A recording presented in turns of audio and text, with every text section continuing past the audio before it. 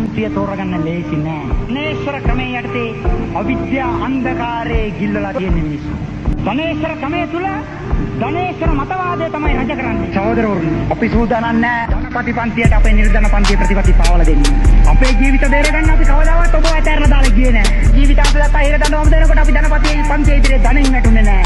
අපි ඒ වෙනුවට හිරේ ඉන්න තීරණය කරා. අපි දේශපාලන බිමෙන් අතුගාලා දාන්න යම් කිසි කෙනෙකුට ඕන නම් මේ රටේ සමාජවාදී විප්ලවය කරන්නේ නැයි